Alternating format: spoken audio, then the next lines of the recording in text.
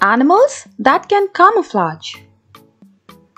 Leaf-tailed gecko. Vietnamese mossy frog. Mountain hare. Goldenrod crab spider. Diamondback rattlesnake. Great rockfish. Grey cracker butterfly. Eastern screech owl. Leafy sea dragon. Mediterranean octopus. Chameleon.